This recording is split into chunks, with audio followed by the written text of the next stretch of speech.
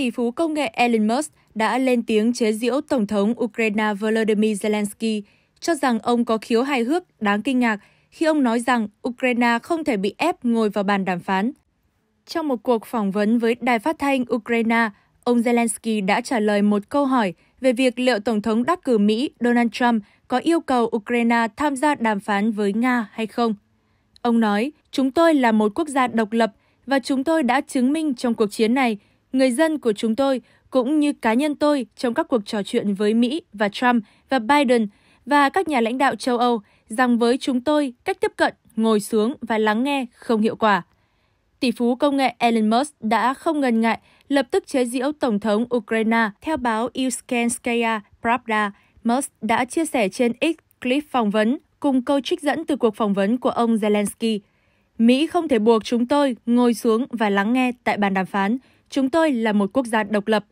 Kèm theo đó, nhà tỷ phú còn dẫn link một bài viết của BBC nói rằng trước đây ông Zelensky từng là diễn viên hài. Trong khi SpaceX đã cung cấp cho quân đội Ukraine các thiết bị đầu cuối Internet Starlink, Musk từ lâu đã lập luận rằng Kiev không thể hy vọng đánh bại lực lượng Nga trên chiến trường và rằng cuộc xung đột phải kết thúc bằng một giải pháp đàm phán. Elon Musk đóng vai trò quan trọng trong chiến dịch tranh cử tổng thống dẫn đến chiến thắng của ông Trump. Ông đã đầu tư hàng chục triệu USD cho chiến dịch và quảng bá ông Trump trên mạng xã hội của mình, trở thành một trong những cố vấn thân cận nhất của Tổng thống đắc cử. Ông Trump đã quyết định để Musk đồng chủ tịch một ủy ban hiệu quả chính phủ nhằm cắt giảm lãng phí trong chính phủ Mỹ. Sau đó, người ta biết rằng tỷ phú này đã tham gia vào cuộc trò chuyện qua điện thoại giữa Tổng thống đắc cử Mỹ với Tổng thống Ukraine Zelensky, và trong đó có lúc ông đã nói chuyện trực tiếp với ông Zelensky. Musk không thừa nhận đã tham gia cuộc gọi, nhưng đã viết trên X ngay sau đó rằng cuộc giết chóc vô nghĩa sẽ sớm kết thúc, thời gian đã hết đối với những kẻ đầu cơ hiếu chiến. Chính phủ Ukraine đã dựa vào viện trợ nước ngoài kể từ năm 2022 để duy trì hoạt động của các cơ quan và trả lương cho nhân viên. Quân đội của nước này gần như hoàn toàn phụ thuộc vào các nguồn tài trợ nước ngoài.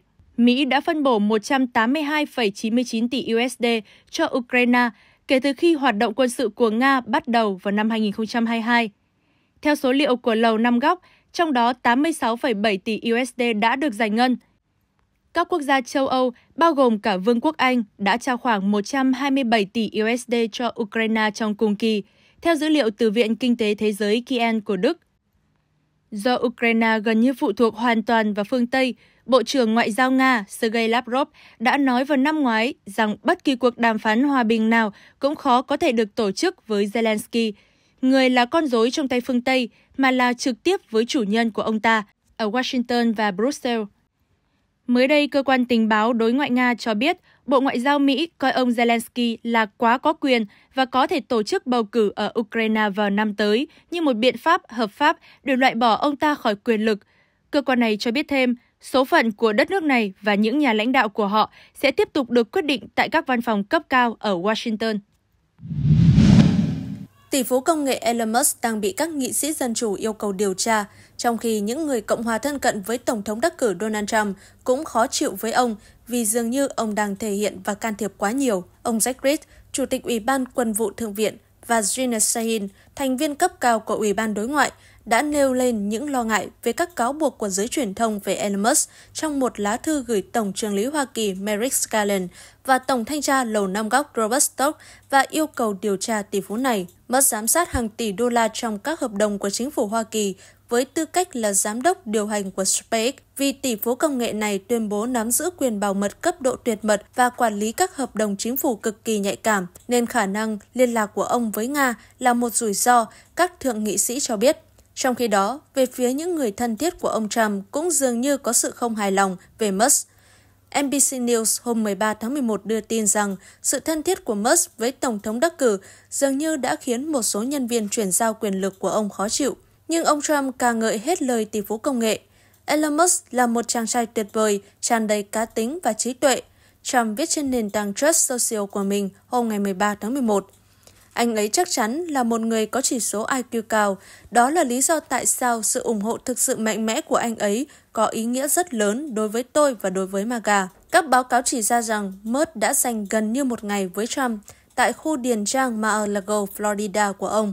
Ông thậm chí còn tham gia trận chơi golf của ông Trump với cháu gái 17 tuổi Kai của Tổng thống đắc cử. Trong một bài đăng trên mạng xã hội, Kai Trump thậm chí còn gọi tỷ phú hào hoa này là chú của mình. Elon Musk đã được gọi là đệ nhất phu nhân sau khi ông xuất hiện trong bức ảnh gia đình của ông Trump chụp trong lễ ăn mừng chiến thắng tại nhà riêng của ông ở Mar-a-Lago, bang Florida. Điều thú vị là đệ nhất phu nhân tương lai Melania Trump đã không có mặt trong bức ảnh, khiến nhiều người đùa rằng Musk đã thay thế bà. Tỷ phú này cũng đã tham gia các cuộc gọi với các nhà lãnh đạo thế giới, bao gồm cả cuộc thảo luận của Trump với Tổng thống Ukraine Zelensky. Còn theo tờ New York Times, Musk đã gặp đại sứ Iran tại Liên Hợp Quốc Ami Saris Iravani vào đầu tuần này.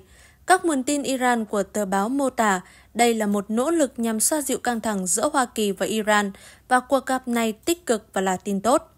Elon Musk cũng là một trong những phụ tá của Trump được nhìn thấy rời khỏi máy bay của Tổng thống đắc cử vào sáng thứ Tư ngày 13 tháng 11 khi ông đến Washington DC để gặp các nhà lãnh đạo Đảng Cộng Hòa và Tổng thống Joe Biden. Người giàu nhất thế giới đã ngồi ở hàng ghế đầu tại sự kiện ở đôi Capitol khi ông Trump phát biểu tại một cuộc họp của Đảng Cộng Hòa tại Hạ viện. Elon sẽ không về nhà, ông Trump nói đùa với các thành viên Đảng Cộng Hòa tại Hạ viện. Theo Daily Mail đưa tin, Tôi không thể thoát khỏi anh ta cho đến khi tôi không thích anh ta nữa. Tổng thống đắc cử nói thêm, nhà báo công nghệ kỳ cựu Kara squitter nói với CNN rằng những người trong nội bộ Trump đã bối rối và lo lắng về mức độ ảnh hưởng của Musk. Theo báo Anh Daily Mail, Natalie Herb, hơn 30 tuổi, để gia nhập đội ngũ truyền thông của ông Trump vào tháng 3 năm 2022. Herb trở thành trợ lý riêng của Tổng thống đắc cử Mỹ. Cô gái tóc vàng luôn thắp tùng ông Trump mọi lúc, mọi nơi – mang theo máy tính sách tay, điện thoại để thông báo với ông Trump các tin tức mới nhất.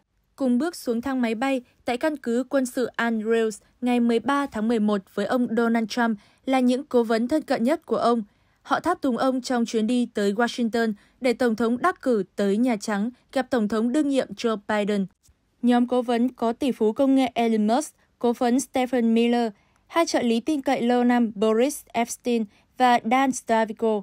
Đối lập với những người đàn ông trung niên cao lớn mặc vest là một cô gái tóc vàng mặc áo khoác xanh navy và váy kẻ caro xám.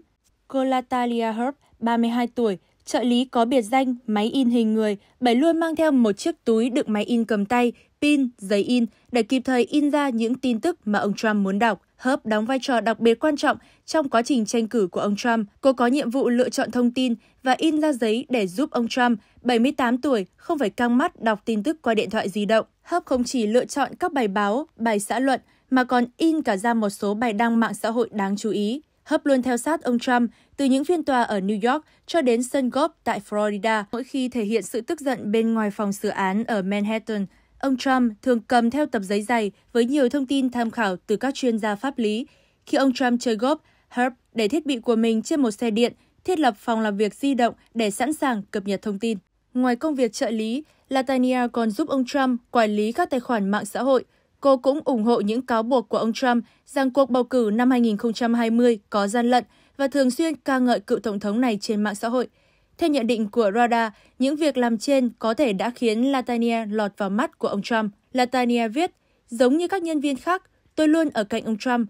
Ông được rất nhiều người yêu quý. Tôi thấy điều đó khi ở cạnh cựu tổng thống. Latalia Hub xuất thân từ một gia đình cơ đốc giáo sùng đạo.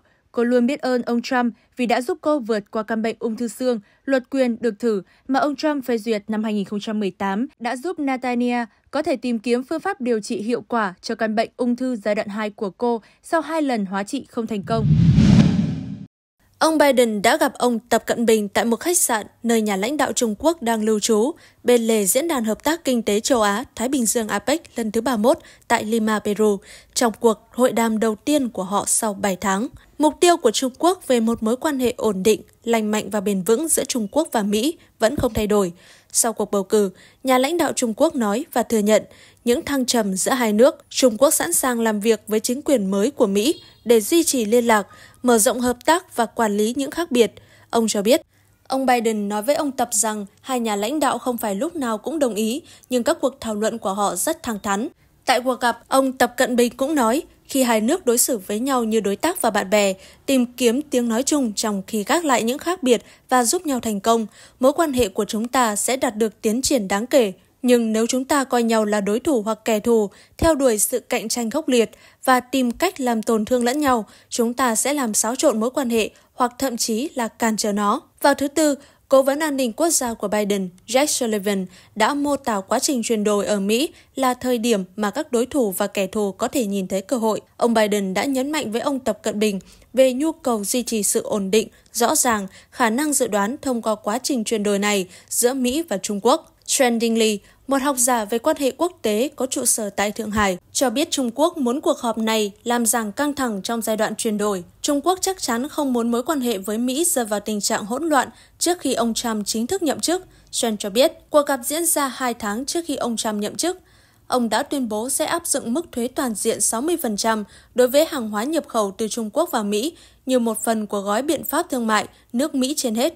Bắc Kinh phản đối những bước đi đó, Tổng thống đắc cử của Đảng Cộng Hòa cũng có kế hoạch đưa một số tiếng nói cứng rắn về Trung Quốc vào các vị trí cấp cao, bao gồm Thượng nghị sĩ Mỹ Marco Rubio làm ngoại trưởng và Hạ nghị sĩ Mike Waltz làm cố vấn an ninh quốc gia. Ông Biden đã nhắm đến mục tiêu giảm căng thẳng với Trung Quốc, nhưng Washington đang vô cùng tức giận trước vụ tấn công mạng gần đây được cho là có liên quan đến Trung Quốc nhằm vào các cuộc liên lạc qua điện thoại của chính phủ Mỹ và các quan chức chiến dịch tranh cử tổng thống. Mỹ cũng lo ngại về việc Bắc Kinh gia tăng áp lực lên Đài Loan và sự ủng hộ của Trung Quốc với Nga. Lãnh đạo Đài Loan Lại Thanh Đức đang có kế hoạch dừng chân tại bang Hawaii của Mỹ và có thể là đảo Guam trong một chuyến thăm trong những tuần tới. Một chuyến thăm chắc chắn sẽ khiến Bắc Kinh không vui. Trong khi đó, cựu quan chức phụ trách kinh tế Đài Loan Lin Hsien đã gặp ông Biden tại hội nghị thượng đỉnh APEC vào thứ Sáu và mời ông đến thăm Đài Loan trong tương lai gần. Cùng lúc đó, nền kinh tế Bắc Kinh đang chịu ảnh hưởng nặng nề từ các bước đi của ông Biden về thương mại, bao gồm kế hoạch hạn chế đầu tư của Mỹ vào trí tuệ nhân tạo, máy tính lượng tử và chất bán dẫn của Trung Quốc và hạn chế xuất khẩu chip máy tính cao cấp. Các quan chức Mỹ cho biết tất cả các chủ đề đó dự kiến sẽ được đưa vào các cuộc đàm phán. Trung Quốc thường xuyên phủ nhận các cáo buộc tấn công mạng của Mỹ, coi Đài Loan là vấn đề nội bộ và đã phản đối các tuyên bố của Mỹ về thương mại Trung-Nga. Nhiều người dân Ukraine gần thành phố chốt chặn Kurakovo vẫn quyết bám trụ nhà cửa, dù lực lượng Nga đang dần siết vòng vây quanh khu vực. Dọc tuyến đường đến Kurakovo, thành phố do Ukraine kiểm soát ở tỉnh Donetsk, là những ngôi nhà không bóng người và trơ trọi vì bom đạn tàn phá, cùng những vườn cây khô héo vì không được chăm nom. Kurakovo hiện là một trong những mặt trận nóng nhất tại tỉnh Donetsk, với vai trò là chốt chặn phía nam thành trì chiến lược Pokrovsk do Ukraine kiểm soát. Nga đã kiểm soát gần như toàn bộ phần đông thành phố và đang bắt đầu tấn công trung tâm đô thị này, đồng thời triển khai hai mũi tiến quân ở phía Bắc và Nam nhằm tạo gọng kìm bao vây, cắt đứt nguồn hậu cần cho các đơn vị Ukraine cố thủ tại đây. Những chiếc xe khách nhỏ gắn biển, xe sơ tán liên tục xuất hiện trên các tuyến đường trong khu vực, trong khi tin nhắn kêu mọi người dân đi sơ tán liên tục gửi đến điện thoại mọi người. Trước đó, quân đội Ukraine đã từ từ rút khỏi thành phố Kurakovo ở Dnipro và một số ngôi làng lân cận do thiếu hụt nghiêm trọng về nhân sự, đạn dược và tinh thần chiến đấu xa sút một xạ thủ Nga trong đội vận hành pháo phản lực BM-21, những nỗ lực của Ukraine nhằm tiếp tế đạn dược, nhân lực và trang thiết bị đang bị dập tắt bằng hỏa lực dồn dập. Kurakovo đóng vai trò giống như chốt chặn trong hệ thống phòng thủ Ukraine trong khu vực vì thành phố này chỉ cách Donetsk khoảng 46 km.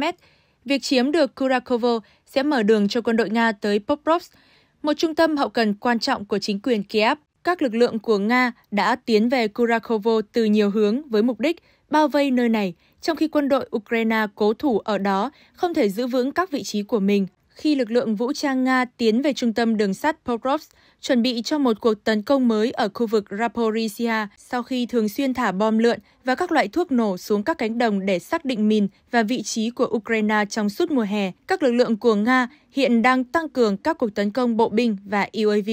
Tờ Financial Times dẫn các nguồn tin trong quân đội Ukraine cho biết, quân đội Nga tiếp tục tấn công tích cực dọc gần như toàn bộ chiến tuyến dài 1.000 km và quân đội lực lượng vũ trang Ukraine bị bao vây ở Kurakovo đang từ từ rút lui.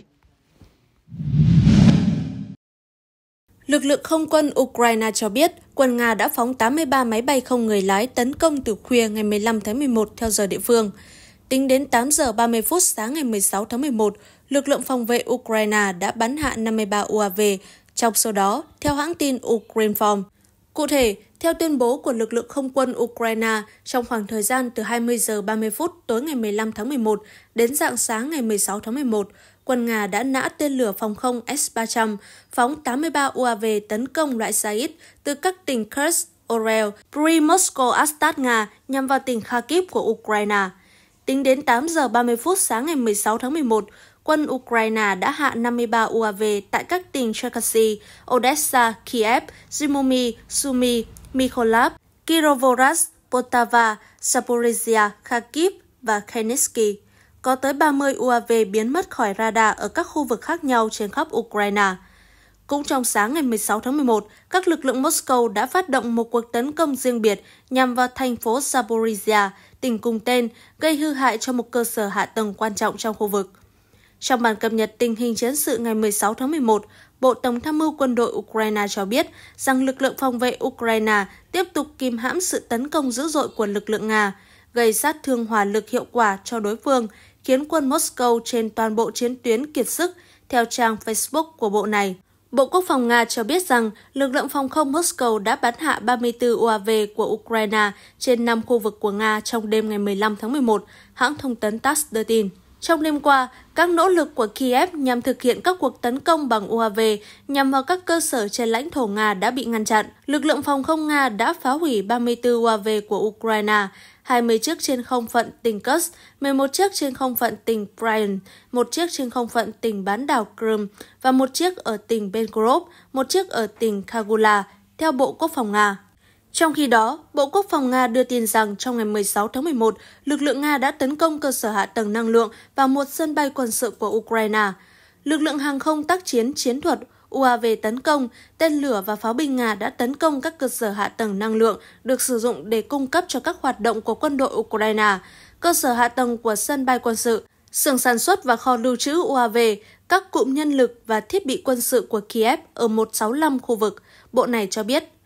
Ở một diễn biến khác, lực lượng từ Trung tâm tác chiến đặc biệt Hải quân số 73 đã thực hiện chiến dịch giải cứu 16 quân nhân từ ba đơn vị phòng thủ khác nhau của Ukraine bị bao vây tại tỉnh Kursk của Nga. Vào lúc 2 giờ, lực lượng tác chiến đặc biệt được giao nhiệm vụ giải cứu một nhóm quân nhân từ các đơn vị bị bao vây. Trong vòng 2 giờ, họ đã lên kế hoạch cho chiến dịch và xuất phát trên hai chiếc Humvee bọc thép để cứu đồng đội. Reuters trích tuyên bố nhóm quân Ukraine đã phải đối mặt với hỏa lực dữ dội từ xe tăng, súng máy hạng nặng và máy bay không người lái của lực lượng Nga, nhưng vẫn hoàn thành nhiệm vụ. Lực lượng tác chiến đặc biệt đã chia sẻ video các binh sĩ Ukraine cảm ơn sau khi được giải cứu. Nga vẫn liên tục không kích các thành phố ở Ukraine bằng loại máy bay không người lái UAV Said và có những ngày số UAV vượt qua biên giới lên tới hàng chục chiếc. Các nguồn tin từ Ukraine cho biết, những chiếc Said mà nước này thu thập được gần đây thường xuyên mang đầu đạn nhiệt áp mới, tạo ra vụ nổ mạnh hơn thuốc nổ thông thường. Theo AP, một nhà máy ở đặc khu kinh tế Alabuga của Nga, cách Moscow khoảng 1.000 km, gần đây đã bắt đầu sản xuất UAV nhiệt áp và UAV mồi nhử. Nhà máy này sản xuất hàng chục UAV mỗi ngày. Truyền thông phương Tây cho biết, tính riêng trong tháng 10, Nga đã phóng hơn 2.000 UAV Said, nâng tổng số UAV được sử dụng từ đầu năm lên hơn 7.000 chiếc. Mặc dù hệ thống phòng không Ukraine đã bắn hạ khoảng 80% số UAV này, vẫn có hơn 1.000 UAV đạt mục tiêu, gây tổn thất nghiêm trọng về cơ sở hạ tầng. Nga đang triển khai một chiến lược mới đầy nguy hiểm trong cuộc chiến Ukraine, được gọi là chiến dịch mục tiêu giả. Chiến dịch này sử dụng UAV mồi nhử, kết hợp với các UAV vũ trang mang đầu đạn nhiệt áp nhằm áp đảo hệ thống phòng thủ Ukraine và gây thiệt hại lớn – sự kết hợp giữa chiến thuật tinh vi và vũ khí có sức hủy diệt lớn đã tạo nên một trong những thách thức nghiêm trọng nhất mà Ukraine phải đối mặt kể từ khi cuộc xung đột nổ ra. Nga đang sản xuất hàng loạt UAV mồi nhử với thiết kế đơn giản nhưng hiệu quả cao trong việc đánh lừa hệ thống phòng thủ Ukraine. UAV mồi nhử thường được nhồi bằng rè rách hoặc bọt rửa bát, xuất hiện trên radar giống hệt UAV vũ trang – Điều này buộc Ukraine phải tiêu tốn nguồn lực phòng thủ để bắn hạ tất cả các mục tiêu, ngay cả khi nhiều UAV không mang vũ khí. Trong các cuộc tấn công gần đây, hàng chục UAV mồi nhử đã được triển khai cùng lúc, khiến lực lượng phòng không Ukraine bị quá tải. Một số UAV mồi nhử được gắn camera truyền hình trực tiếp để định vị vị trí phòng không Ukraine, sau đó truyền thông tin về Nga. Một trong những yếu tố gây kinh hoàng nhất trong chiến dịch mục tiêu giả là việc Nga trang bị đầu đạn nhiệt áp cho UAV vũ trang – đây là loại vũ khí có sức hủy diệt cực lớn, thường được sử dụng để tiêu diệt các mục tiêu trong không gian kín hoặc dưới lòng đất. Đầu đạn nhiệt áp tạo ra luồng xoáy áp suất và nhiệt độ cực cao, hút sạch oxy trong khu vực xung quanh. Nó có thể xuyên qua các bức tường dày và gây tổn thương nghiêm trọng cho con người, bao gồm xẹp phổi, tổn thương não và phá hủy nhãn cầu. Các UAV mang đầu đạn nhiệt áp được thiết kế để phá hủy hoàn toàn các tòa nhà lớn hoặc cơ sở hạ tầng quan trọng, đặc biệt là các nhà máy điện. Theo các chuyên gia, loại đầu đạn này không chỉ gây thiệt hại vật chất mà còn tạo ra tâm lý hoảng loạn, làm tăng thêm áp lực đối với Ukraine. Dù Ukraine đã đạt được một số thành công trong việc bắn hạ UAV, chiến dịch mục tiêu giả vẫn đặt ra những thách thức lớn. Radar phòng không của Ukraine gặp khó khăn trong việc phân biệt UAV vũ trang và UAV mồi nhử. Tất cả các UAV, dù có vũ trang hay không, đều xuất hiện trên radar với tín hiệu tương tự, buộc lực lượng phòng không phải tiêu hao đạn dược để xử lý tất cả. Điều này đã làm giảm hiệu quả tác chiến và tạo cơ hội cho các UAV vũ trang có khả năng mang đầu đạn nhiệt áp vượt qua hệ thống phòng thủ. Cựu Phó Tổng thư ký NATO Joseph Gottmuller nhận định Nga có thể nhượng bộ Tổng thống đắc cử Mỹ Donald Trump để giải quyết cuộc khủng hoảng Ukraine. Trên Financial Times ngày 15 tháng 11, bà nhấn mạnh Tổng thống Nga Vladimir Putin đang có động cơ mạnh mẽ để cải thiện quan hệ với Mỹ nhằm tái khẳng định vị thế quốc tế và xóa bỏ các lệnh trừng phạt. Bà Gottmer, giáo sư Đại học Harvard và cựu phó tổng thư ký NATO, chỉ ra ba nhượng bộ khả thi từ phía Nga. Mỹ có thể đề xuất một thỏa thuận ngừng bắn tương tự cách phương Tây mô tả tình trạng Tây Đức sau Thế chiến II. Khi đó, toàn vẹn lãnh thổ của Đức vẫn được công nhận dù các tỉnh phía đông bị tách rời. Cách tiếp cận này tránh coi sự phân chia là vĩnh viễn, đồng thời mở đường cho khả năng thống nhất trong tương lai. Không chỉ vậy, thay vì trì hoãn vô thời hạn, Mỹ có thể thúc đẩy kế hoạch gia nhập NATO của Ukraine với thời hạn không xác định, đồng thời bắt đầu các cuộc đàm phán chính thức song song với EU từ tháng 6 2024. Mặc dù tiến trình này sẽ kéo dài, nó tạo ra một lộ trình rõ ràng để Ukraine hướng tới mục tiêu gia nhập NATO và EU. Nếu cần thiết, có thể đặt một mục tiêu cụ thể, chẳng hạn trong 20 năm. Putin có thể chấp nhận bước đi này bởi ông từng đồng ý với tiến trình gia nhập EU của Ukraine và các cuộc đàm phán dài hạn ít gây bất ngờ. Nga có thể tham gia lại các cuộc đàm phán về kiểm soát vũ khí hạt nhân vốn đã bị đình chỉ. Dù NATO và Mỹ tiếp tục hỗ trợ Ukraine, đàm phán song phương về kiểm soát hạt nhân có thể là cơ hội giữ ổn định chiến lược giữa hai bên. Gottmuller tin rằng những nhượng bộ này đủ hấp dẫn để Nga cân nhắc, đặc biệt trong bối cảnh kinh tế và chính trị hiện tại. Trong khi đó, một số ý kiến từ phương Tây cho rằng Ukraine có thể phải nhượng bộ lãnh thổ để chấm dứt chiến tranh. Tỷ phú Mỹ David Sachs nhận định việc Ukraine từ chối nhượng lãnh thổ là không thực tế. Theo ông, xung đột càng kéo dài, Ukraine càng chịu thiệt hại. Tờ Washington Post cũng cho biết nhiều đồng minh phương Tây tin rằng đàm phán hòa bình giữa Moscow và Kiev là cần thiết, trong đó Ukraine sẽ phải chấp nhận lãnh thổ để đổi lấy an ninh. Sau chiến thắng trong cuộc bầu cử, ông Trump tuyên bố sẽ chấm dứt mọi cuộc chiến trong nhiệm kỳ của mình. Theo The Wall Street Journal, đội ngũ của ông Trump dự kiến đóng băng tiền tuyến hiện tại, tạo khu phi quân sự, đồng thời tiếp tục viện trợ vũ khí cho Kiev nếu nước này đồng ý trì hoãn gia nhập NATO trong vòng 20 năm. Một cuộc khảo sát của Viện Xã hội học quốc tế Kiev cho thấy khoảng 1 phần 3 người Ukraine đồng ý nhượng bộ lãnh thổ để chấm dứt xung đột, trong khi 58% phản đối. Đáng chú ý, tỷ lệ ủng hộ nhượng bộ tăng từ 33 lên 40% ở các khu vực phía đông. Tổng thống Ukraine Vladimir Zelensky khẳng định ông Trump không thể buộc Kiev nhượng lãnh thổ. Tuy nhiên, các nhà quan sát chính trị tại Ukraine cho rằng Zelensky có thể phải chấp nhận kế hoạch của Trump do Kiev không có nhiều lựa chọn khi đối mặt với áp lực từ đối tác lớn nhất của mình. Trong cuộc phỏng vấn với đài phát thanh Ukraine, ông Zelensky cho biết binh sĩ Ukraine trên chiến trường cần được luân chuyển để nghỉ phép, song các lữ đoàn thay thế không đủ trang bị. Các chàng trai từ tuyến đầu đang mệt mỏi, họ phải rút lui. Họ bị nã pháo KAB, bị bom rơi và họ mệt mỏi. Họ hỏi liệu có thể lùi một bước không và lãnh đạo quân sự cho phép họ làm điều đó. Vì đây là quan điểm của chúng tôi, con người là quan trọng nhất, rồi mới đến đất đai. Ông nói, theo ông, binh lính Ukraine muốn chắc chắn rằng khi họ rút lui sẽ có lữ đoàn khác thay thế họ, nhưng phải được trang bị vũ khí đầy đủ và sẵn sàng đối phó với cuộc tấn công này. Tuy nhiên, ông thừa nhận, việc hoàn thiện lực lượng của họ diễn ra rất chậm, rất chậm. Tổng thống Ukraine nhấn mạnh rằng trong điều kiện thiếu trang bị, các lữ đoàn mới không thể được thành lập. Tuy nhiên, ông cũng cho biết rằng các đơn vị dự bị đã được thành lập với sự tham gia của những người có kinh nghiệm chiến đấu trong cuộc chiến. Theo lời của người đứng đầu nhà nước, việc ai đó thành lập các lữ đoàn mới trong khi các lữ đoàn mạnh thiếu người là những trường hợp cá biệt. Ông Zelensky dự đoán rằng khi các lữ đoàn dự bị được trang bị đầy đủ, cuộc tấn công của quân Nga ở phía đông sẽ kết thúc. Ông cũng nói rằng Ukraine chưa nhận được một nửa số vũ khí mà Mỹ đã chính thức cam kết cung cấp và rằng châu Âu đã giúp đỡ đất nước không kém gì Mỹ. Trước đó, theo tuyên bố từ các nhà lập pháp và các cơ quan truyền thông, Ukraine đã lên kế hoạch chiêu mộ thêm 160.000 binh sĩ trong vòng 3 tháng. Chúng tôi đặt mục tiêu triệu tập thêm 160.000 cá nhân. Điều này sẽ cho phép chúng tôi biên chế các đơn vị quân đội với tới 85% nhân sự. Ông nói và lưu ý rằng thông tin này đến từ ông Alexander Litvinenko, thư ký Hội đồng Quốc phòng và An ninh Quốc gia Ukraine. Ngay sau đó, AFP đưa tin rằng lượng binh sĩ mới này dự kiến sẽ được triệu tập trong vòng 3 tháng tới, trích dẫn một nguồn an ninh giấu tên. Lực lượng vũ trang Ukraine có khoảng 250.000 quân nhân tại ngũ vào đầu năm 2022.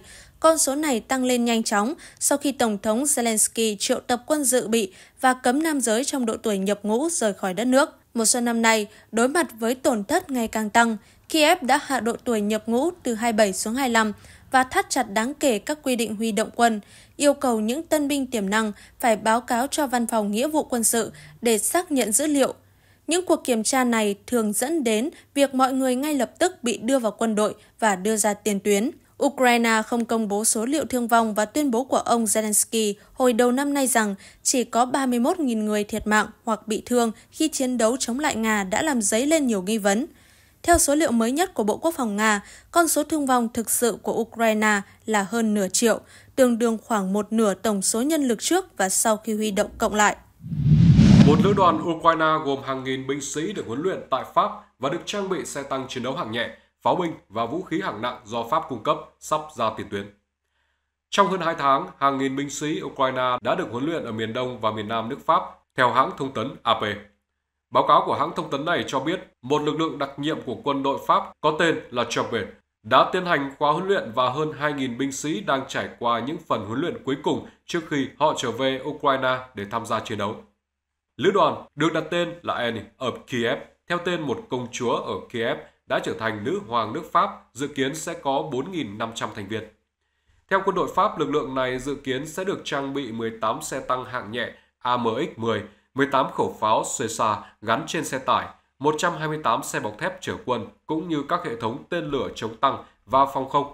Pháp thường gọi AMX-10 là xe tăng hạng nhẹ nhưng nó lại được nhiều người coi là phương tiện trinh sát và chiến đấu bọc thép. Theo quân đội Pháp, trước khi đến Pháp, hầu hết các binh sĩ chỉ được huấn luyện cơ bản vài tuần. Một đại tá Pháp cho hay họ đã tiến bộ rất nhiều, bây giờ họ có thể chiến đấu, họ có khả năng cơ động cao, họ có thể sử dụng các chuyên gia khác nhau và sử dụng các thiết bị khác nhau mà họ sẽ sở hữu trên chiến trường. Chính quyền Pháp cho biết quân đội Ukraine cũng đang huấn luyện các binh sĩ khác để đầu quân cho lữ đoàn này ở Ukraine. Kể từ khi cuộc xung đột Nga-Ukraine bùng phát vào năm 2022, các nhóm binh sĩ Ukraine đã được quân đội phương Tây huấn luyện tại các địa điểm bên ngoài Ukraine. Theo báo chí phương Tây, điều này đã giúp binh sĩ Ukraine được huấn luyện tốt hơn so với lực lượng của Nga, mặc dù Nga có lợi thế quân sự ở nhiều lĩnh vực khác nhau. Tình báo phương Tây đã chỉ ra rằng quân đội Nga hầu như không được huấn luyện trước khi được gửi ra mặt trận và chiến lược giành chiến thắng của Nga dường như dựa trên việc cố gắng áp đảo quân đội nhỏ hơn nhiều của Ukraine thông qua số lượng binh lính và trang thiết bị ưu việt hơn. Lữ đoàn mới của Ukraine sẽ bước vào cuộc chiến với Nga ngay vào thời điểm cực kỳ quan trọng. Nga đang dần tiến lên ở miền đông Ukraine, trong khi Ukraine kêu gọi sự hỗ trợ nhiều hơn từ các đồng minh. Các quan chức Ukraine cũng cho biết có tới 11.000 binh sĩ Triều Tiên hiện đang có mặt để giúp Nga đẩy lùi lực lượng của nước này ở khu vực Kursk của Nga. Đồng thời, Ukraine đang hồi hộp chờ đợi Tổng thống đắc cử Mỹ Donald Trump, người sẽ trở lại Nhà Trắng vào tháng 1 2025 và đã nhiều lần chỉ trích mức độ viện trợ quân sự hào phóng của Mỹ dành cho Ukraine. Tùy thuộc vào ông Trump, sự giúp đỡ mà châu Âu dành cho Ukraine, chẳng hạn như việc Pháp huấn luyện một trong các lữ đoàn của họ có thể trở nên quan trọng hơn đối với khả năng chiến đấu của Ukraine. Giữa lúc chiến sự tại Kớt đang nóng lên từng ngày, những hình ảnh về pháo tự hành Triều Tiên xuất hiện trên đất Nga đã làm dấy lên nhiều nghi vấn. Liệu Bình Nhưỡng có đang bí mật viện trợ quân sự cho Moscow bất chấp lệnh cấm vận của Liên Hợp Quốc? Mạng xã hội đang lan truyền những bức ảnh được cho là chụp các khẩu pháo tự hành M1989 Kosan 170mm của Triều Tiên đang được vận chuyển trên đường sắt gần Krasnoyarsk, Nga. Các blogger quân sự và trang tin quốc tế như Kiev Post và Newsweek đều đưa tin về sự việc này, kèm theo những bình luận đầy ẩn ý từ phía Nga. Chúng tôi có một đồng minh thực hiện các thỏa thuận, điều mà chúng tôi rất cảm kích. Một kênh Telegram của Nga viết. Giới quan sát nhận định có hai khả năng. Thứ nhất, một đơn vị pháo binh nào đó của Triều Tiên được triển khai ra mặt trận ở miền Tây nước Nga. Thứ hai, một đơn vị nào đó của Nga sẽ vận hành khẩu lụ pháo có bánh xích với khẩu đội gồm 4 người này. Pháo có khả năng bắn đầu đạn nặng 45 kg, đi xa ít nhất 40 km. Điều đáng nói là sự việc này diễn ra trong bối cảnh căng thẳng tại Kursk đang leo thang từng giờ. Theo các nguồn tin phương Tây, Nga đang dồn lực để đẩy lùi Ukraine khỏi khu vực này trước khi ông Trump nhậm chức. Phải chăng Moscow đang tìm kiếm sự hỗ trợ từ Bình Nhưỡng để giành lợi thế trên chiến trường, bất chấp những hệ lụy chính trị có thể xảy ra? Trước đó, Mỹ đã nhiều lần cáo buộc Nga sử dụng tên lửa và đạn dược của Triều Tiên trong cuộc chiến ở Ukraine. Washington khẳng định việc này vi phạm nghiêm trọng các nghị quyết của Liên Hợp Quốc, đồng thời gây bất ổn cho tình hình an ninh khu vực và quốc tế. Mới đây, Phó phát ngôn viên Bộ Ngoại giao Mỹ Vedant Patel cho biết hơn 10.000 binh sĩ Triều Tiên đang đồn trú ở miền Đông Nga, chủ yếu tại Kursk và tham gia các hoạt động chiến đấu cùng quân đội Nga. Ông Patel còn tiết lộ rằng quân đội Nga đã huấn luyện cho binh lính Triều Tiên về pháo binh, máy bay không người lái và các hoạt động bộ binh cơ bản, bao gồm cả kỹ năng đột kích chiến hào. Cả Nga và Triều Tiên đều phủ nhận những cáo buộc này. Họ khẳng định mối quan hệ hợp tác song phương không vi phạm luật pháp quốc tế và chỉ nhằm mục đích củng cố quốc phòng, bảo vệ an ninh quốc gia. Tuy nhiên, việc hai nước ký kết hiệp ước đối tác chiến lược toàn diện, trong đó cam kết hỗ trợ quân sự lẫn nhau bằng mọi phương tiện sẵn có, khiến phương Tây càng thêm lo ngại. Liệu những hình ảnh về pháo tự hành Triều Tiên trên đất Nga có phải là bằng chứng cho thấy sự hợp tác quân sự ngầm giữa hai nước? Câu trả lời vẫn còn bò ngỏ. Tuy nhiên, sự việc này chắc chắn sẽ làm gia tăng căng thẳng giữa Nga, Triều Tiên và phương Tây, đồng thời khiến tình hình chiến sự ở Ukraine thêm phần phức tạp và khó lường. Điện Kremlin ngày 15 tháng 11 thông báo, theo sáng kiến của phía Đức, cuộc điện đàm đầu tiên giữa Tổng thống Nga Vladimir Putin và Thủ tướng Đức Olaf Scholz kể từ tháng 12 năm 2022 đã được tổ chức về triển vọng giải quyết xung đột bằng chính trị và ngoại giao. Tổng thống Nga lưu ý rằng phía Nga chưa bao giờ từ chối và vẫn sẵn sàng nối lại các cuộc đàm phán đã bị chính quyền Kiev làm gián đoạn. Thông báo của Điện Kremlin cho biết.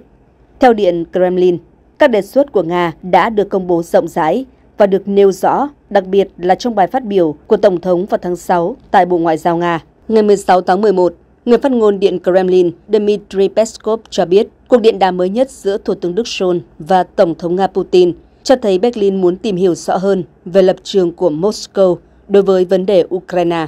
Tổng thống Putin hồi tháng 6 đã đưa ra một đề xuất hòa bình mới nhằm chấm dứt cuộc xung đột ở Ukraine. Đề xuất này dự kiến công nhận bán đảo Crimea, Cộng hòa Nhân dân Donetsk và Lugan tự xưng, cũng như các vùng Kherson và Zaporizhia là các khu vực của Nga, duy trì tình trạng không liên kết và phi hạt nhân của Ukraine, phi quân sự hóa và phi phát xít hóa Kiev, cũng như dỡ bỏ các lệnh trừng phạt đối với Nga. Ông Putin cũng kêu gọi Ukraine duy trì tình trạng trung lập, không gia nhập NATO. Tuy nhiên, Ukraine đã bác bỏ sáng kiến này. Tổng thống Volodymyr Zelensky mô tả đề xuất của Moscow là tối hậu thư, trong khi cố vấn của ông Zelensky, Mikhail Podolyak, nói rằng các sáng kiến mới của Nga không có đề xuất hòa bình thực sự. Trong cuộc điện đàm mới nhất, Thủ tướng Scholz hối thúc Tổng thống Putin nối lại các cuộc đàm phán với Ukraine nhằm đạt được nền hòa bình công bằng và lâu dài. Người phát ngôn của chính phủ Đức Stefan Hebestres cho biết hôm 15 tháng 11, ông Scholz nhấn mạnh Nga cần thể hiện sự sẵn sàng cho các cuộc đàm phán. Thủ tướng Scholz nói với Tổng thống Putin rằng cuộc xung đột ở Ukraine phải chấm dứt, đồng thời cảnh báo nhà lãnh đạo Nga rằng Đức sẽ hỗ trợ Ukraine trong thời gian lâu nhất có thể.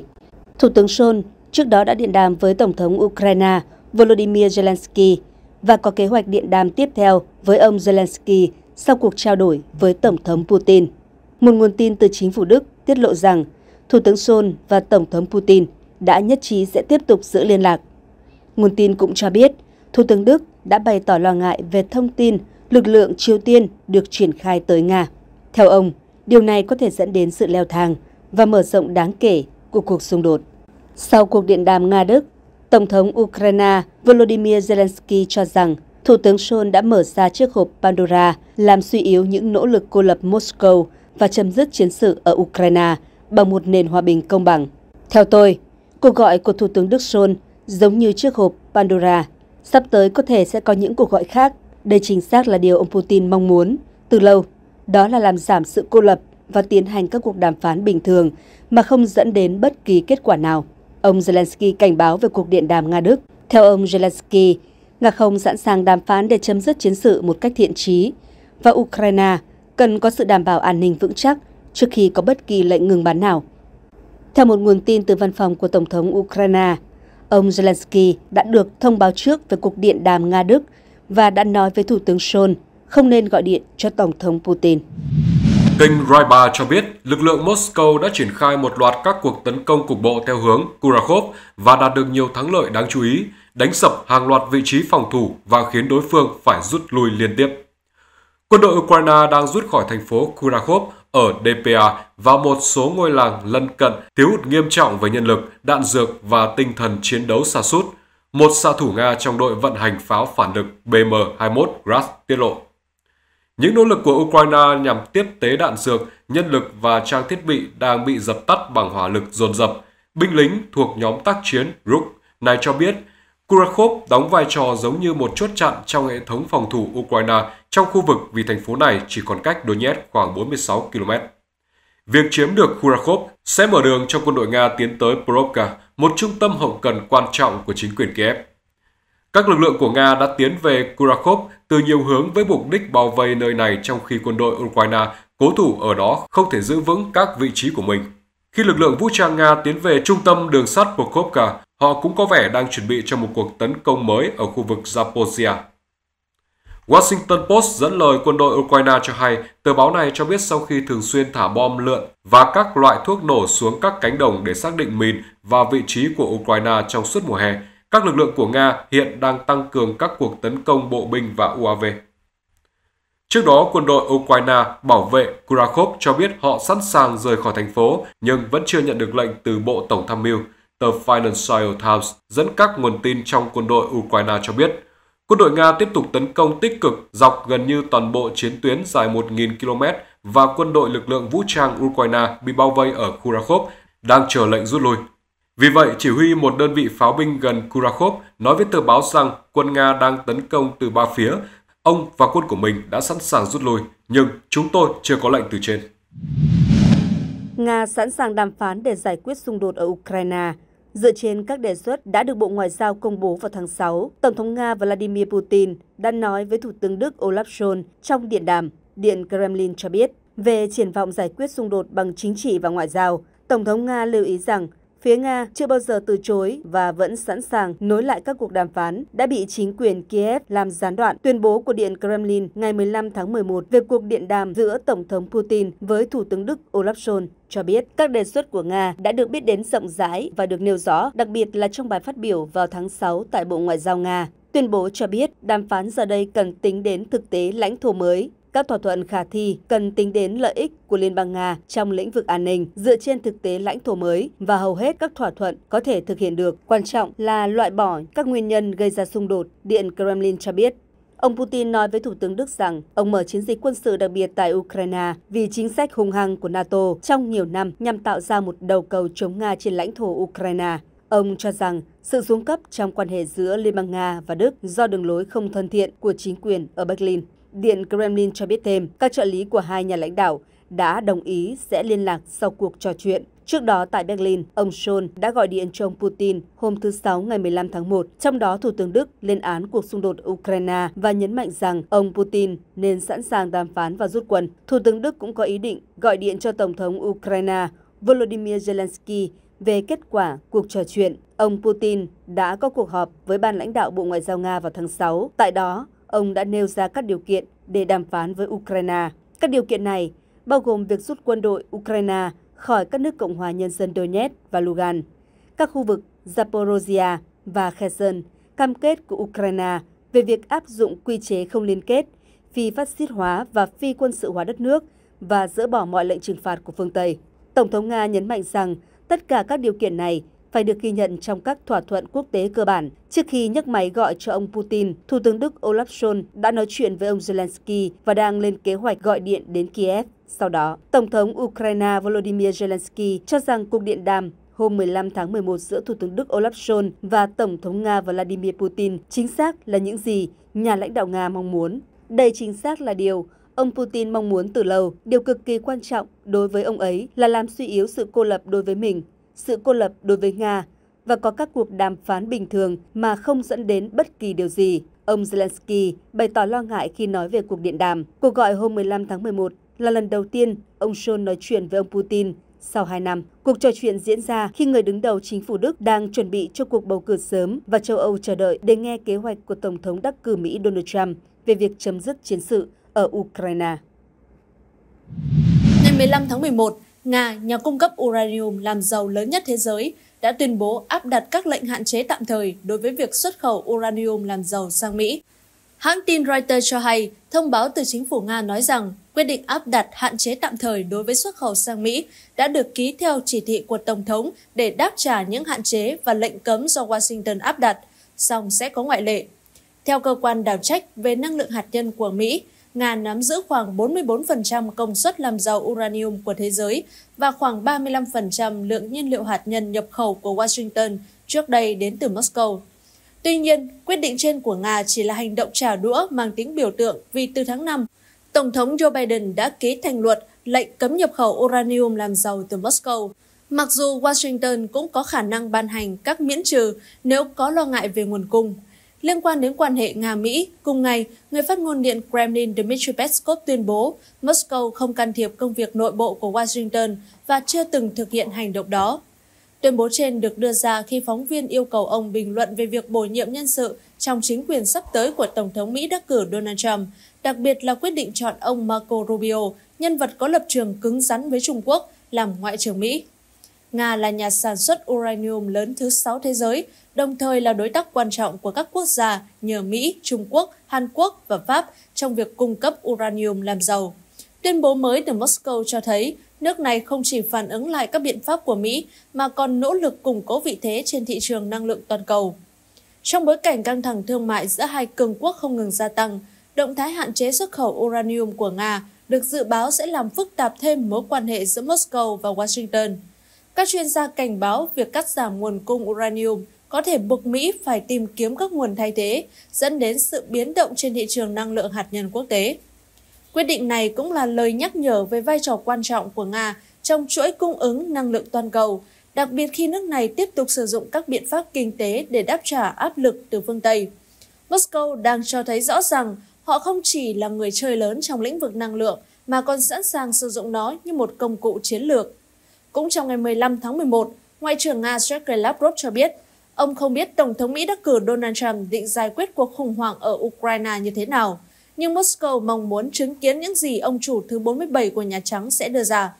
Bên cạnh đó, nhà ngoại giao kỳ cựu Nga nhấn mạnh rằng Moscow luôn khẳng định bất kỳ chính trị gia nào nói rằng mình ủng hộ hòa bình thay vì xung đột thì đều đáng được chú ý. Bộ trưởng Quốc phòng Ukraine Rustem Umerov cáo buộc các quan chức EU nói dối và bác bỏ các thông tin cho rằng Kiev sẵn sàng từ bỏ lãnh thổ để đổi lấy sự đảm bảo an ninh.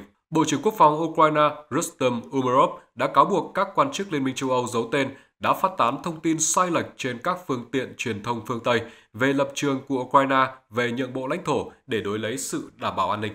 Phát biểu tại một cuộc họp báo ở Oslo vào thứ Sáu ngày 15 tháng 11, ông Umerov đã mạnh mẽ bác bỏ các báo cáo cho rằng Kiev sẵn sàng từ bỏ các yêu sách về đất đai của mình, coi đó là lời nói dối và tuyên truyền của Nga. Các báo cáo rộng rãi trên các phương tiện truyền thông phương Tây bao gồm The New York Times và Financial Times đã trích dẫn các quan chức và nhà ngoại giao Tây Âu giấu tên nói rằng Ukraine có thể thay đổi lập trường của mình do kết quả của cuộc bầu cử gần đây của Hoa Kỳ. Tuy nhiên, Bộ trưởng Ukraine nhấn mạnh rằng lập trường của Ukraine vẫn không thay đổi. Toàn vẹn lãnh thổ là một phần trong các giá trị của chúng tôi, ông Umerov tuyên bố, tái khẳng định rằng Ukraine cam kết đòi lại toàn bộ đất đai đã mất vào tay Nga kể từ năm 2014. Ông nhấn mạnh rằng Bất kỳ báo cáo nào cho rằng Kiev sẽ thay đổi các ưu tiên của mình đều là sai sự thật. Việc trả lại biên giới năm 1991 vẫn là mục tiêu ưu tiên của chúng tôi, ông nói. Tờ New York Times đưa tin một quan chức cấp cao của Ukraine nói rằng các đảm bảo an ninh thay vì các vấn đề lãnh thổ có thể trở thành mối quan tâm cấp bách hơn đối với Ukraine nếu lệnh ngừng bắn được đàm phán với sự tham gia của Tổng thống đắc cử Mỹ Donald Trump. Tương tự, tờ Financial Times trích dẫn các nguồn tin ngoại giao EU cho rằng chính quyền Ukraine sẵn sàng thảo luận về các nhượng bộ lãnh thổ như một phần của giải pháp rộng hơn với Nga. Lời phủ nhận dứt khoát của Umerovs xuất hiện khi quân đội Ukraine tiếp tục rút khỏi các vị trí ở Donbass và Kiev phải đối mặt với áp lực quốc tế ngày càng tăng để tìm kiếm các con đường tiềm năng cho các cuộc đàm phán hòa bình. Ngày 15 tháng 11, trong cuộc gặp bên lề thượng đỉnh Diễn đàn Hợp tác Kinh tế Châu Á-Thái Bình Dương APEC năm 2024 tại Peru, các nhà lãnh đạo Mỹ, Hàn Quốc và Nhật Bản cùng công bố thành lập Ban Thư ký Hợp tác ba bên. Theo hãng thông tấn Yonhap đưa tin, Tổng thống Mỹ Joe Biden, Tổng thống Hàn Quốc Yoon suk yeol và Thủ tướng Nhật Shigeru Ishiba ra tuyên bố chung thành lập Ban Thư ký ba bên chịu trách nhiệm điều phối và thực hiện các cam kết chung của ba nước. Lãnh đạo Mỹ, Nhật, Hàn nhấn mạnh quan hệ đối tác của ba nước là quan hệ được xây dựng để lâu dài. Lãnh đạo ba nước cũng lên án thông tin Triều Tiên điều quân đến hỗ trợ Nga trong cuộc chiến với Ukraine. Seoul và Washington cho rằng quân Triều Tiên đã được triển khai tại tỉnh Kursk của Nga và bắt đầu tham gia các hoạt động chiến đấu chống lại lực lượng Ukraine. Moscow và Bình Nhưỡng đã bác bỏ thông tin. Nhật, Hàn Quốc và Mỹ lên án mạnh mẽ các quyết định của giới lãnh đạo Triều Tiên và Nga nhằm mở rộng một cách nguy hiểm cuộc chiến ở Ukraine. Việc tăng cường hợp tác quân sự giữa Triều Tiên và Nga, bao gồm việc chuyển giao đạn dược và tên lửa đạn đạo, là hành động đặc biệt nghiêm trọng khi xét đến vị thế của Nga là thành viên thường trực của Hội đồng Bảo an Liên Hợp Quốc. Theo tuyên bố chung, cuộc gặp lãnh đạo Mỹ, Nhật, Hàn, các nhà lãnh đạo cũng tái khẳng định cam kết đối với mục tiêu phi hạt nhân hóa hoàn toàn bán đảo Triều Tiên. Nga và Triều Tiên chưa lên tiếng về cuộc gặp của lãnh đạo Mỹ, Nhật, Hàn. Cuộc gặp lãnh đạo Mỹ, Nhật, Hàn diễn ra trong bối cảnh Tổng thống Biden sắp kết thúc nhiệm kỳ. Tại cuộc họp, ông Biden ca ngợi sự tiến bộ trong Liên minh Mỹ-Nhật Hàn kể từ thượng đỉnh ba nước ở trại David Mỹ hồi tháng 8 năm 2023. Tôi tự hào về chặng đường chúng ta đã đi được kể từ cuộc gặp lịch sử đó. Chúng ta đã thúc đẩy phát triển ở Đông Nam Á và các đảo Thái Bình Dương. Liên kết để bảo đảm công nghệ tương lai và chống lại sự hợp tác nguy hiểm giữa Triều Tiên với Nga, ông Biden nói. Tổng thống Mỹ cũng bày tỏ niềm hy vọng và kỳ vọng rằng mối quan hệ ba bên sẽ được xây dựng cho mục tiêu lâu dài. Cũng trong ngày 15 tháng 11, Tổng thống Hàn Quốc đã gặp Chủ tịch Trung Quốc Tập Cận Bình bên lề APEC 2024, theo hãng tin Reuters đưa tin. Tại cuộc gặp, ông Jun nói với ông Tập rằng Hàn Quốc và Trung Quốc nên hợp tác vì hòa bình trước mối quan hệ quân sự giữa Triều Tiên và Nga, theo tuyên bố từ văn phòng của Tổng thống Yun. Theo hãng thông tấn TASS, một nhóm quân nhân Ukraine ở vùng Kursk của Nga đã quyết định đầu hàng sau khi biết rằng lực lượng vũ trang Nga đã kiểm soát được 5 vị trí của họ cùng lúc, với rất ít hoặc không có thương vong. Alexander Raporius, một tù nhân Ukraine cho biết. Chúng tôi đầu hàng mà không chiến đấu và đợi đến sáng hôm sau. Chúng tôi nghe nói rằng lực lượng của Nga đã kiểm soát được 5 vị trí của chúng tôi, hầu như không có thương vong. Chỉ có một người bị thương nhẹ, vậy là hết, tù binh này cho biết. Ông nói thêm rằng ban đầu họ được cử đến vùng cớt với lý do thay thế đồng đội, nhưng khi đến nơi, họ phát hiện ra rằng những người lính mà họ phải thay thế đã thiệt mạng. Trong khi đó, hãng thông tấn TASS cho biết chuyên gia quân sự Andrei Marokko thông tin với TASS rằng lực lượng trinh sát Nga đã phát hiện sự hiện diện của lính đánh thuê nói tiếng Anh và Ba Lan gần Kupian thuộc vùng Kharkov đang chiến đấu cho quân đội Ukraine. Trong vài ngày qua, trinh sát vô tuyến điện tử của Nga đã chặn được các cuộc đàm phán bằng tiếng Anh, tiếng Ba Lan và các ngôn ngữ nước ngoài khác ở vùng Kupian. Những lính đánh thuê này đang ở gần cả tuyến giao tranh và ở phía sau, chuyên gia quân sự cho biết. Trước đó, ông Marosco cũng nói với TASS vào ngày 14 tháng 11 rằng quân đội Nga đã tiến dọc theo tuyến đường sắt gần Kupian và tấn công vào vùng ngoại ô của thị trấn. Cựu Thủ tướng Mykola Azarov cảnh báo Ukraine sẽ phải đối mặt với các vấn đề ở nhiều lĩnh vực khác nhau trong mùa đông tới do tình trạng thiếu lao động trầm trọng vì việc huy động đi lính. Ukraine sẽ phải đối mặt với nhiều kiểu sụp đổ khác nhau trong mùa đông do thiếu lao động trầm trọng, ông Azarov viết trên kênh Telegram của mình. Ai sẽ dọn tuyết khỏi các thành phố nếu như gần như tất cả nhân viên ngành thang máy đã bị động viên? Vì lý do này, các thành phố có thể rơi vào tình trạng tuyết bao vây, việc cung cấp nhiên liệu và thực phẩm sẽ gặp khó khăn. Điều này có nghĩa là người dân Ukraine sẽ phải đối mặt với tình trạng thiếu hụt chúng. Ông Arazov nói thêm rằng ở Ukraine cũng sẽ xảy ra tình trạng mất điện thường xuyên vào mùa đông.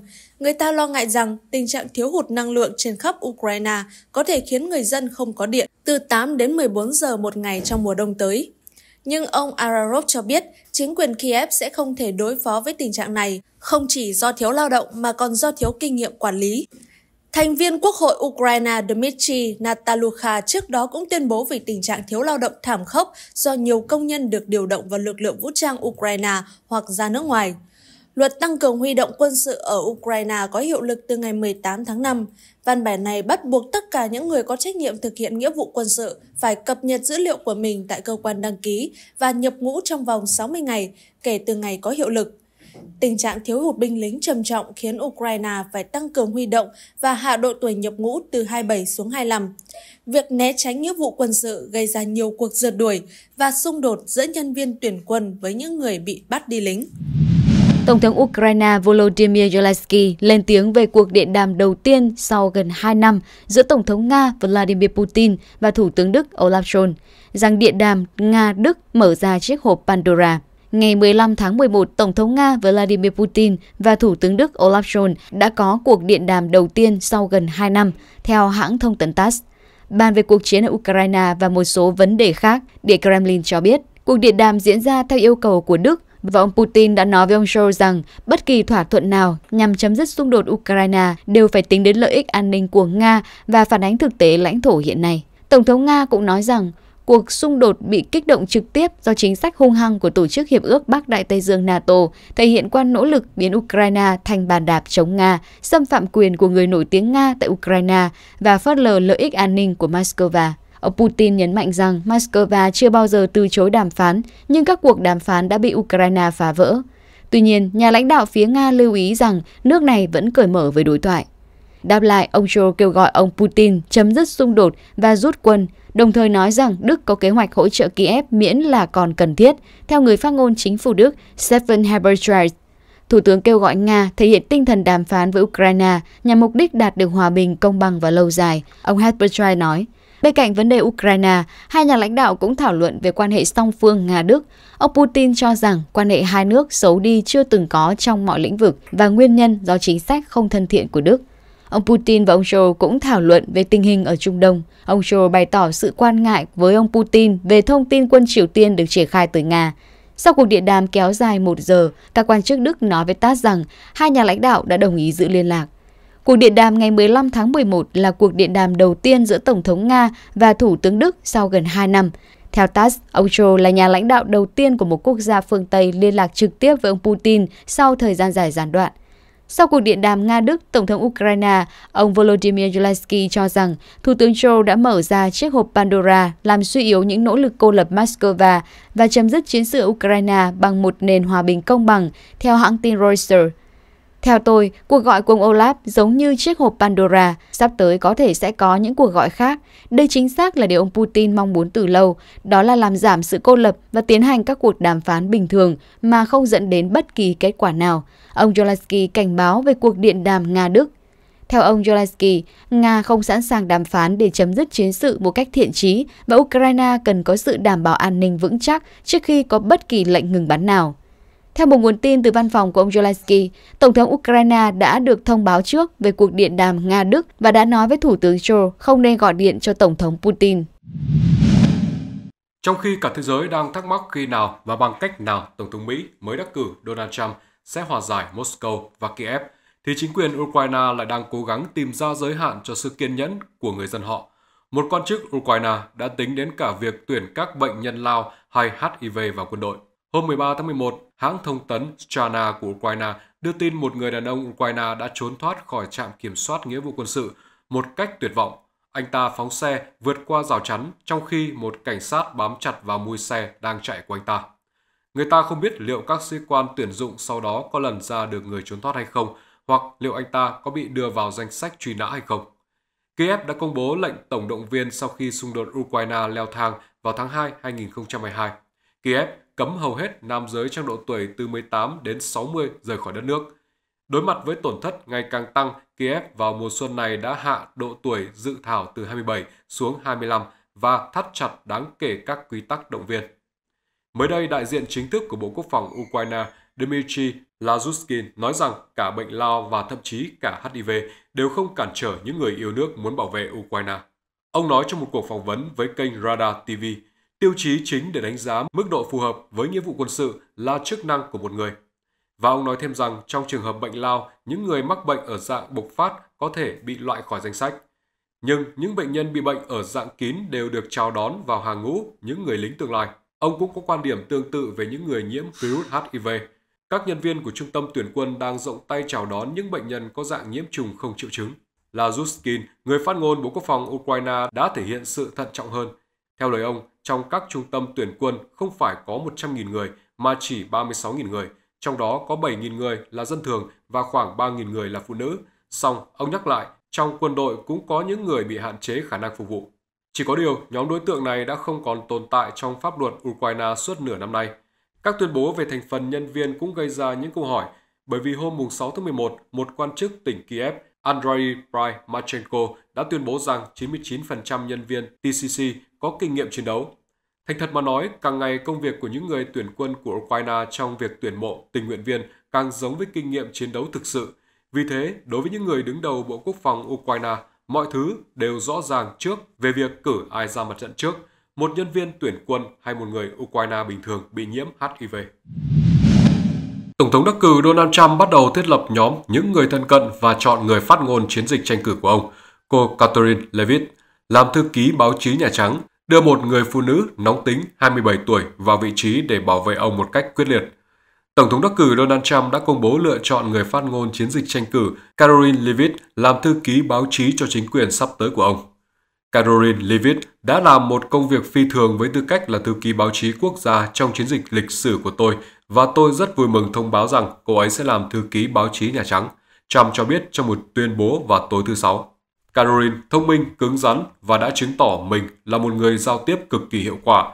Tôi vô cùng tin tưởng rằng cô ấy sẽ xuất sắc trên bục phát biểu và giúp truyền tải thông điệp của chúng tôi đến người dân Mỹ khi chúng ta làm cho nước Mỹ vĩ đại trở lại.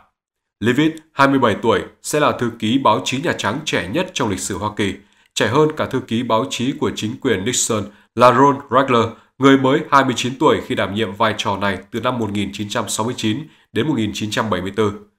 Levitt từng là thư ký báo chí quốc gia của chiến dịch, tập hợp sự ủng hộ cho Trump, đồng thời cũng là người bảo vệ ông quyết liệt trong bối cảnh các cuộc tấn công chính trị từ chiến dịch của Harris và Đảng Dân Chủ. Họ buộc ông ấy phải chụp ảnh chân dung, họ cố gắng xóa tên ông ấy khỏi lá phiếu, họ buộc ông ấy phải ngồi trong một tòa án bẩn thỉu trong 6 tuần.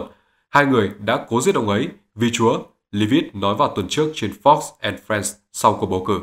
Và người dân Mỹ thấy rõ, ở Donald Trump, một nhà lãnh đạo rõ ràng, ngay cả trong thời điểm đen tối nhất, ông ấy vẫn sẽ giơ nắm đấm lên không trung và nói chiến đấu, chiến đấu, chiến đấu vì đất nước này.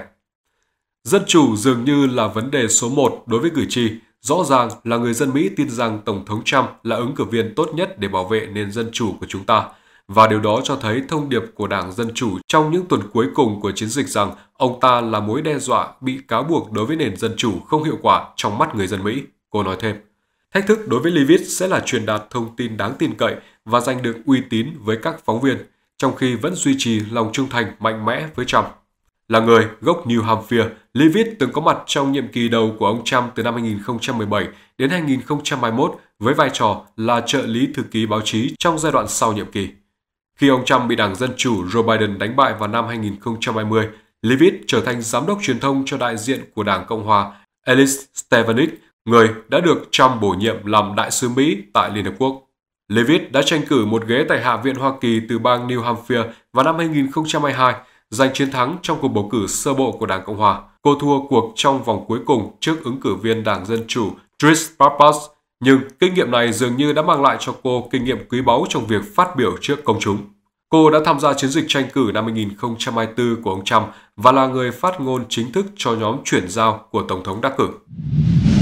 Các nhà lãnh đạo Hồi giáo ở Mỹ vô cùng thất vọng sau khi họ bỏ phiếu cho ông Donald Trump để phản đối cách chính quyền Tổng thống Biden ứng xử với cuộc cuộc chiến của Israel ở giải Gaza và tấn công vào Liban.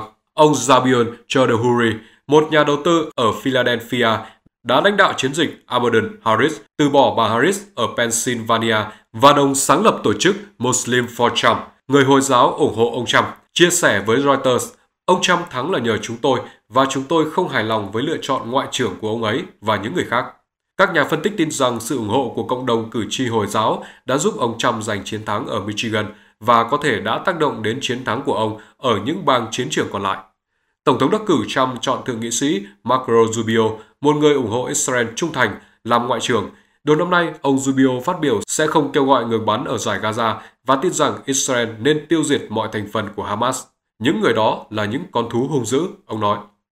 Ông Trump cũng đề cử cựu thống đốc Arkansas Mike Huckabee, người bảo thủ trung thành ủng hộ Israel và cho rằng giải pháp hai nhà nước là không khả thi, làm đại sứ kế nhiệm tại Israel. Ông chọn hạ nghị sĩ Elise Stefanik, người gọi Liên Hợp Quốc là hố phân của chủ nghĩa bài Do Thái, làm đại sứ Mỹ tại Liên Hợp Quốc. Yehinando Nazako, giám đốc điều hành của mạng lưới trao quyền và cam kết Hồi giáo Mỹ, Amin, cho biết cử tri Hồi giáo đã hy vọng ông Trump sẽ chọn các quan chức nội các nỗ lực hướng tới hòa bình, nhưng đến nay không có dấu hiệu nào cho thấy điều đó sẽ xảy ra. Chúng tôi rất thất vọng, có vẻ như chính quyền mới chỉ toàn những người theo chủ nghĩa tân bảo thủ và những người cực kỳ ủng hộ Israel, ủng hộ chiến tranh, Nazako nói với Reuters. Nazako cho biết cộng đồng sẽ tiếp tục lên tiếng sau khi đã bỏ phiếu cho ông Trump. Ít nhất chúng tôi cũng có tên trên bản đồ, ông nói. Hassan Salam, cựu giáo sư tại Đại học Minnesota, là người đồng sáng lập chiến dịch Abaddon Harris, cho rằng kế hoạch nhân sự của ông Trump không có gì đáng ngạc nhiên, nhưng thậm chí còn cực đoan hơn những gì ông lo sợ. Giống như ông ấy đang đi theo chủ nghĩa phục quốc do Thái vậy, chúng tôi luôn cực kỳ hoài nghi. Chúng tôi vẫn đang chờ xem chính quyền sẽ đi về đâu, nhưng có vẻ như cộng đồng của chúng tôi đã bị lợi dụng, ông nói. Một số người Hồi giáo bỏ phiếu cho ông Trump cho biết họ hy vọng Richard Grenell, cựu giám đốc tình báo quốc gia tạm quyền của ông Trump, sẽ đóng vai trò đáng kể trong nội các mới sau nhiều tháng ông thực hiện các hoạt động tiếp cận cộng đồng người Hồi giáo và người Mỹ gốc Ả Rập, thậm chí còn được giới thiệu là ngoại trưởng tiềm năng tại các sự kiện. Ông Marsad Brownlow, bố chồng của cô Tiffany, con gái của ông Trump, đã nhiều lần gặp gỡ các nhà lãnh đạo người Mỹ gốc Ả Rập và người Hồi giáo trong quá trình ông Trump tranh cử. Cả hai đều hứa với cử tri người Mỹ gốc Ả Rập và người Hồi giáo rằng ông Trump là ứng cử viên sáng giá cho hòa bình, sẽ hành động nhanh chóng để chấm dứt chiến tranh ở vùng Trung Đông và xa hơn nữa. Ông Trump đã thực hiện một số chuyến thăm đến những thành phố có đông người Mỹ gốc Ả Rập và người Hồi giáo, trong đó có điểm dừng chân ở Dearborn, một thành phố có đa số người Ả Rập.